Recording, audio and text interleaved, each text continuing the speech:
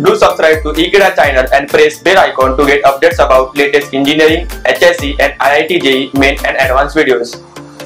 Hello students, today we are studying chapter Human Health and Dis- Diseases. In that we are studying topic carboxyhemoglobin. When carbon dioxide attaches itself to oxygen, what does that happen? And what is the reaction in the body? Let's study and find out today. Carboxyhemoglobin carbon dioxide is a gas that has to be exhaled out of your body. Your body doesn't need carbon dioxide and if in case you try and inhale carbon dioxide in certain conditions, especially when somebody is hanging or a plastic is wrapped around somebody's face, that time there are chances that carbon dioxide can gain entry or during pollution of vehicles or inhaling of pollutants of vehicle, carbon monoxide poisoning can occur. What happens is that whenever oxygen is inhaled inside our body, hemoglobin which is a porphyrin ring made up of iron or Fe molecules combine with oxygen.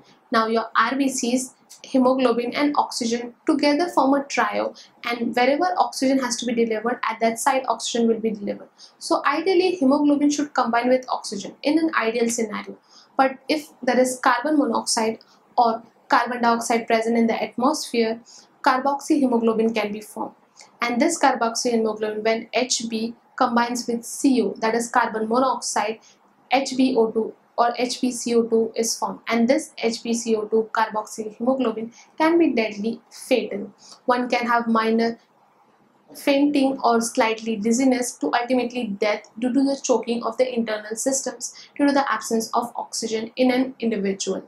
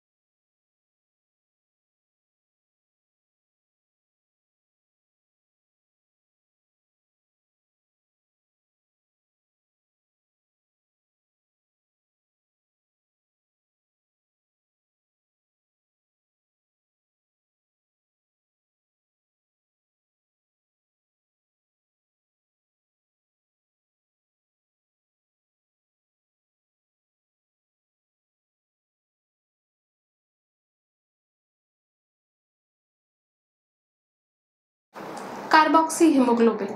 Now carboxyhemoglobin can be said as a deadly product that's formed inside a body whenever carbon monoxide or CO is present.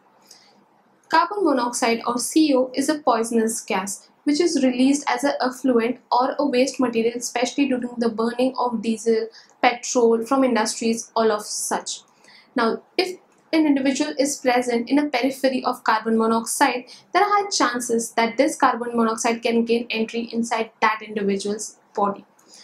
This poisonous gas binds tightly to Hb or hemoglobin molecule and preventing it from accepting by the O2 molecule.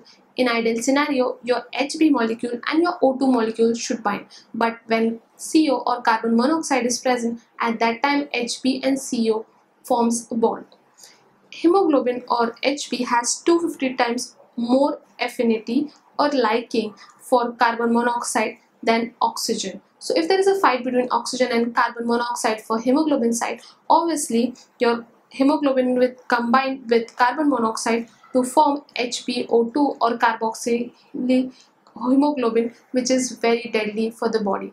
Carboxylic hemoglobin or carboxyl hemoglobin is can cause anorexia, stiffness, CNS death in certain cases.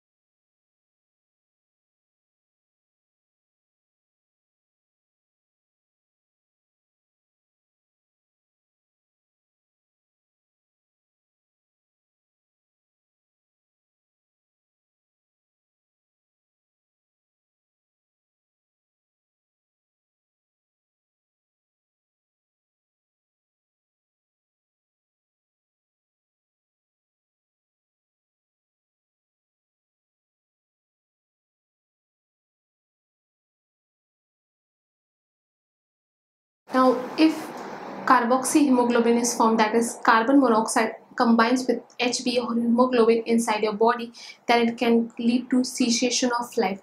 Basically, a person could get into trauma or paralytic attack and ultimately the heart, liver functioning or brain functioning would come to a standstill or stop, a coma condition basically. Due to interruption of effective gases in exchange that happens.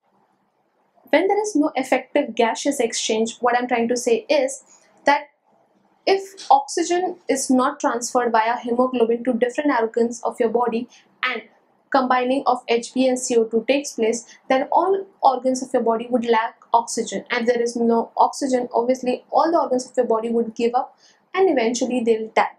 Also, O2 combining power decreases and as a result tissues suffer from oxygen starvation. Now oxygen is the whole and soul for every tissue to carry out mitosis, meiosis, every bodily functions for exchange, anabolism, catabolism, oxygen is the primary source. We all know that during the process of respiration that is the conversion of glucose to ATP the respiration is cellular and it requires oxygen. In human beings, oxygen is compulsory to make that energy molecule ATP.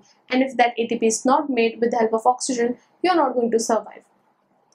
Extreme cases can lead to death if there is extreme carboxy hemoglobin formation in an individual, even that can lead to death and even can be fatal results.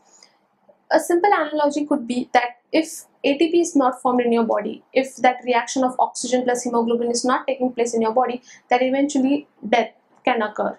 Students, in this part of the chapter, we came across about carboxylic hemoglobin or carboxylic hemoglobin or how CO combines with H2O and carboxy hemoglobin is formed. I hope students were very clear with this concept. Thank you.